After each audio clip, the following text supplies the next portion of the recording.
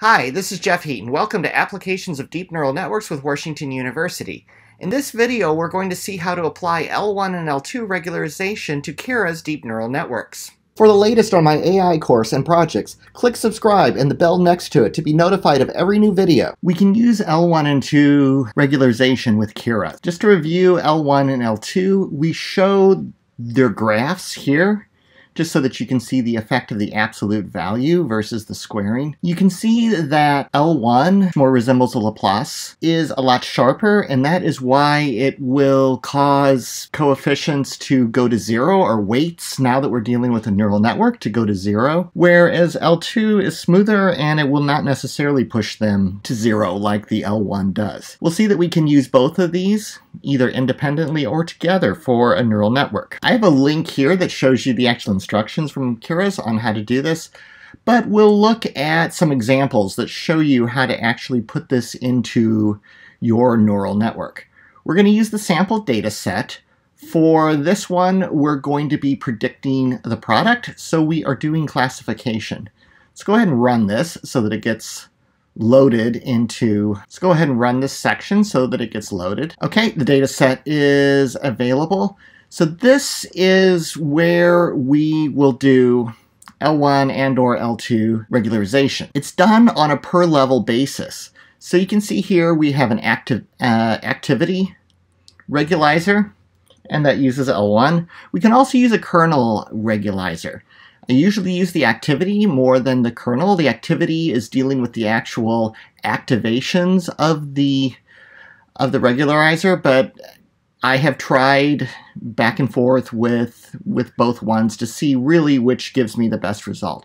I do tend to get better results with L2, particularly L2 activity regularizers than L1. I'm typically not trying to actually eliminate features altogether using, using it on the neural network. This can be a useful way to do that. You can read up in the Keras documentation too a little on the difference between activity in kernel. It really has to do with at what point in the calculation before act after the activation function is applied that that regularizer is being applied. And that's really all there is to it. Simply placing this as part of the first hidden layer causes the regularizer to be applied.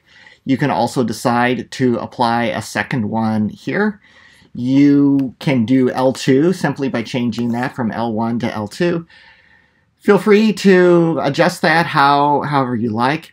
Again, this is another hyperparameter, so it just requires some, some optimization and trial and error. We'll see when we get to the module that discusses Kaggle competitions how we can optimize this automatically using, using Bayesian optimization, or at least get it pushed in a good direction as far as what we want to do with all of these hyperparameters. This is the alpha that we saw earlier. This is just the degree to which this is being applied. If you were to put a zero in here, it, it would simply cancel the L1 out and it would not be applied at all. A 1 would be full power. You probably do not want to do that. That would make the, the training very unstable. You can go ahead and run this one. It will go through the cross-validation and generate the out-of-sample predictions. We are simply training this for 500 epochs. We're not doing any sort of early stopping because we really want to get a good estimation of how well, say, 500 epochs would do so that we could run this a couple of times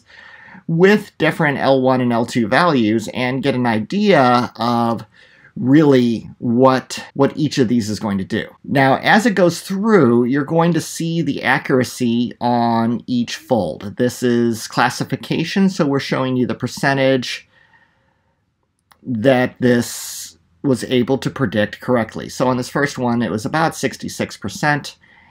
And I'll let this go ahead and fast forward to get through the other ones. Okay, and now it's completed. The final accuracy was, as we can see here, 6595. Now I'm going to show you something else that's somewhat of an annoying feature of, of neural networks. We'll see that when you rerun them, the, the scores can vary quite a bit. So remember 6595 And also remember that fold 2 was the best one. We will go ahead and fast forward this so that you don't have to wait for it. Okay, we're done. So notice now it is not 65.95 anymore. It's changed. So it looks like it got a little bit worse. If we had tried adjusting things up here, we might falsely think that what we did up there had caused a problem and just was not as good of a adjustment. You also can see that Fold 2, though not the best this time, was still pretty good. That tends to stay the same because we did the seed value for the cross-validation. So up here, where we set the random state to 42, that certain folds will definitely be easier than others. And you like that to stay consistent so you can really compare apples to apples, at least on the folds. So we'll see later in this module that there's something called bootstrapping we can do where we run this a whole bunch of times and we get the we get the results back that are then averaged together. So we get a better idea of if we're if our adjustments to the hyperparameters are actually making a difference or not. Thank you for watching this video. In the next video, we're going to look at dropout, which is a type of regularization that was specifically created for neural networks. This content changes often, so subscribe to the channel to stay up to date on this course and other topics in artificial intelligence.